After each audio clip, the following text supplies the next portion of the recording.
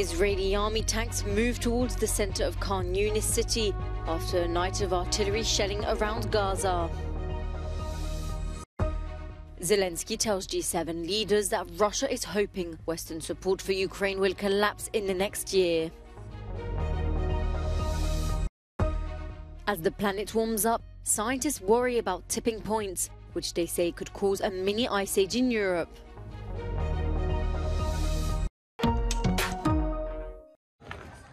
Palestinian children pulling their belongings from the rubble in the devastated city of Khan Yunis, just eight kilometres from Gaza's border crossing with Egypt.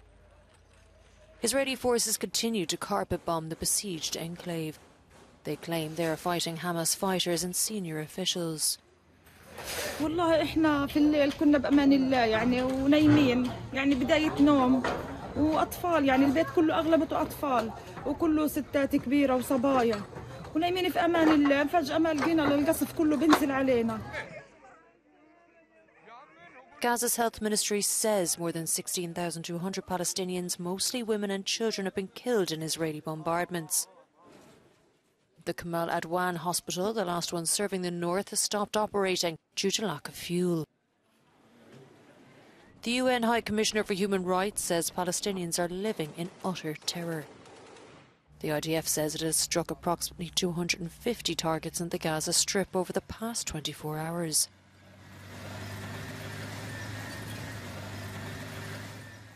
Israel has vowed to destroy Hamas and free the 138 hostages still held.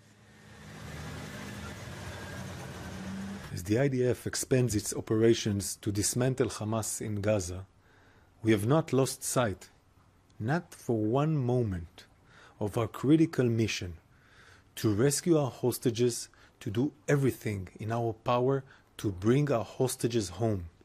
Meanwhile, Israel's military has released these pictures of what they are claiming to be the largest weapons cache found thus far in their ground offensive. One week ahead of a crucial meeting of European heads of state and government, divisions over the Israel Hamas conflict are once again coming to the fore.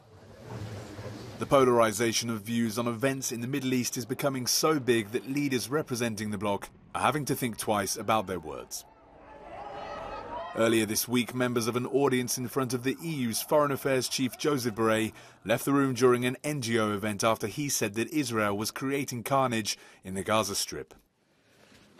What we are witnessing in Gaza is another carnage.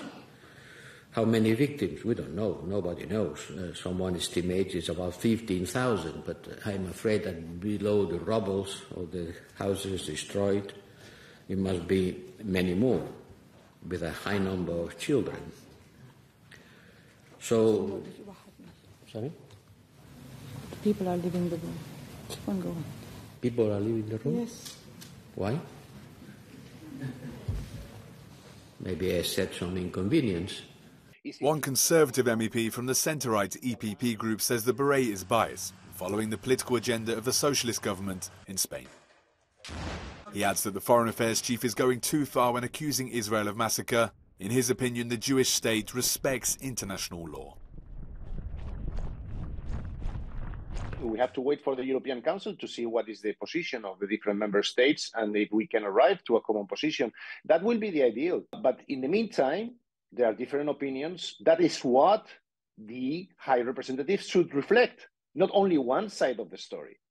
Tensions among EU leaders became visible in November when the Belgian and Spanish prime ministers visited the region and both criticized Israel for the suffering of Palestinians.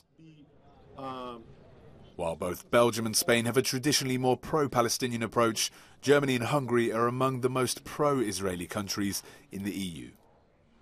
Everyone in the European Union agrees, of course, that um, civilian casualties should be avoided uh, in in Gaza. I mean, this is this is something that is clearly mentioning uh, among all capitals. However, where we see divisions um, among member states is Israel's right for self-defense. Now, some of the EU member states are taking this argument very seriously and are supporting Israel in this regard, but we see other EU, EU member states that actually try to alleviate uh, this right of self-defense by arguing that there should be proportionality and that the response of Israel is not proportional at all. The official EU position on the conflict is to stand in solidarity with Israel and support its rights to self defense, but in accordance with international humanitarian law.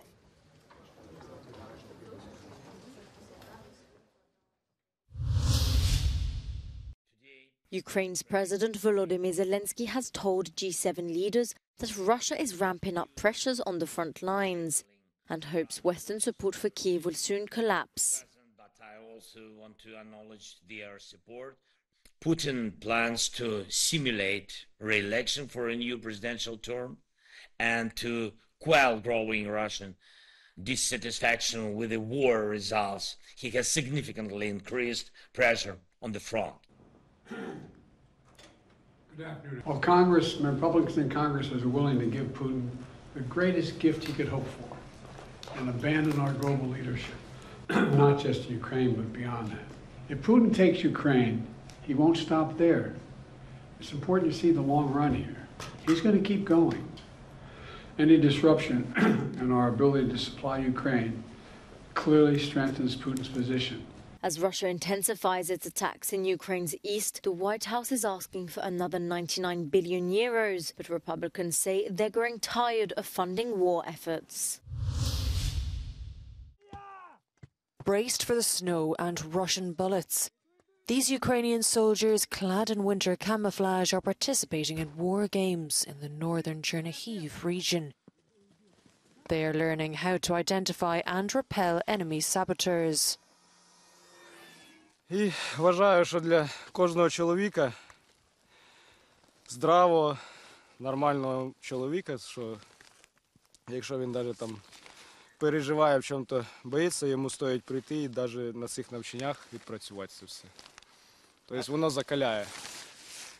More than a million Ukrainian and Russian soldiers are currently fighting in eastern Ukraine. In order to combat the freezing temperatures, a Dutch charity has donated purpose made military kits to help defending troops survive.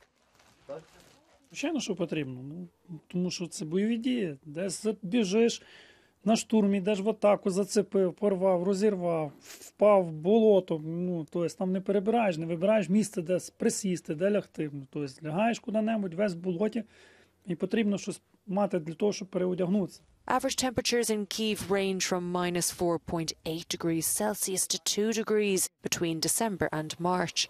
While many Ukrainians have returned to liberated pockets of the country, they are now racing against the clock to rebuild their homes before winter really sets in.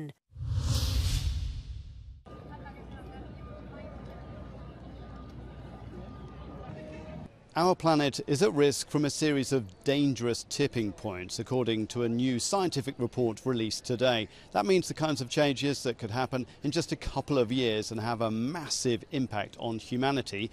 I spoke to the report author, Professor Tim Lenton. So, our global tipping points report shows that we're already at risk of tipping five damaging uh, Earth system tipping points, the loss of a couple of major ice sheets, uh, disruption of the circulation of the North Atlantic affecting the climate in Europe, where we are, um, as well as losing large areas of permafrost that add to global warming and triggering the dieback of coral reefs that half a billion people depend on for their livelihoods. The, the tipping points that may be passed don't just have implications for places like coral reefs or tropical forests. Also, the kinds of changes he's talking about in the Atlantic could have major impacts for Europeans.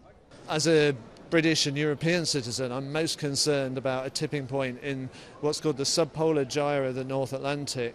The last time this tipped, it gave us the little ice age in Europe. We're not adapted for a sudden shift to a much more seasonal climate that would have much colder, snowier winters, as well as hotter summers, and reduce the growing season for major crops by a couple of months, as well as major disruption to water supplies. A key takeaway is that it's not just every degree of warming that counts, it's every 0.1 degree of warming that counts when it comes to these tipping points. A message the scientists hope will be getting through to delegates here. Jeremy Wilks at COP28 in Dubai for Euronews. Kilometres of barbed wire dividing what was once an open land border. Similar fences have been erected on the boundaries of Austria, Hungary, Italy, and Slovenia amid heightening security concerns over the flow of illegal migrants. Meanwhile, Slovenia's former Prime Minister Janez Janša has called Europeans to, quote, arm themselves, but intellectuals have accused the conservative politician of xenophobia. Ta izjava je skandalozna. Kaže, on je kao duhovit, jel to je ono, čivija. Jel, oružajte se, ali naoružajte se, ali legalno. Šta znači legalno? Potpuno je svejedno. Ako se naoružavate, potpuno je svejedno da li ilegalno ili legalno, jel? Ljubljana has recorded three times the number of illegal border crossings this year compared to last year. In an interview with Euronews Serbia, Janša defended his anti-immigration views and urged Slovenians to take a stand. Uh, actually, this was not a statement as a reaction uh, after the uh, war or this uh, terrorist attack in Ukraine. It was a statement addressing the whole situation which, are, which we are facing and the current security situation in Slovenia and our abilities to, to defend ourselves as a country. According to Europe's border agency Frontex, this migratory route, which crosses Bosnia, Croatia, Slovenia, and Italy, is particularly popular amongst Syrian and Afghan refugees. Ima to uh, efekt na, na život ljudi uh, koji su to. Jer kada ti sad zoveš nekoga, tražem stan za prijatelja, iz Sirije, a svi sada samo vidu teroristi, teroristi, teroristi, taj čovjek nema da dobije stan. Italy established controls at its border with Slovenia last October. As a consequence, Ljubljana reinforced its boundary with Croatia.